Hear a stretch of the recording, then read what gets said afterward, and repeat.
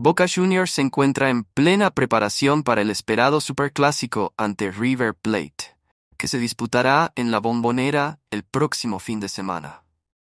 Bajo la dirección de Diego Martínez, el equipo sigue afinando detalles y ajustando las piezas necesarias para presentar la mejor versión posible en este trascendental encuentro. El técnico ya tiene en mente a nueve jugadores que estarán en el once titular, aunque aún quedan algunas dudas por resolver antes de confirmar la alineación definitiva. Uno de los temas más importantes en la planificación de Boca es la situación de Carlos Palacios, el talentoso futbolista chileno que ha llamado la atención de la directiva Ceneice.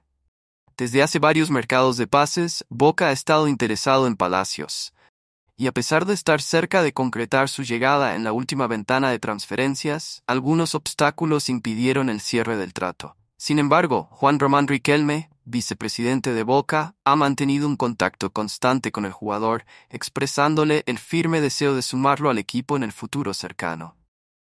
Tras el último partido de River Plate en Chile, donde Carlos Palacios brilló como una de las figuras del encuentro, las conversaciones entre Boca y Colo Colo, el club que posee parte de los derechos del jugador, han tomado un nuevo impulso.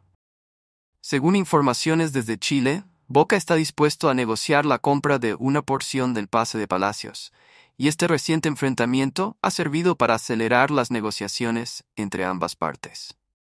Se espera que en las próximas semanas haya avances significativos en este sentido, y el chileno podría vestirse de azul y oro en el 2025. Por otro lado, la preparación para el Superclásico sigue su curso, con Diego Martínez trabajando intensamente para definir a los 11 jugadores que enfrentarán a River. Nueve nombres ya parecen estar seguros en el esquema del técnico, quienes se encuentran en óptimas condiciones físicas y con la confianza necesaria para disputar este crucial partido.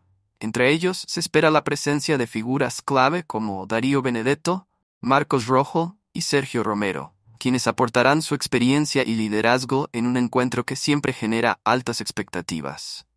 El Superclásico es, sin duda, uno de los eventos más esperados del fútbol argentino, y Boca quiere asegurarse de llegar en la mejor forma posible. Con una bombonera repleta y el apoyo incondicional de su afición, el equipo buscará aprovechar el factor local para imponerse ante su histórico rival. Las sesiones de entrenamiento continuarán durante toda la semana, con Martínez observando cada detalle y realizando las últimas pruebas antes de tomar las decisiones finales. En resumen, Boca Juniors encara este miércoles 18 de septiembre con varios frentes abiertos. Mientras el equipo se prepara para el Superclásico, la directiva sigue trabajando en el mercado de pases, con Carlos Palacios como uno de los principales objetivos para reforzar el plantel en el próximo año.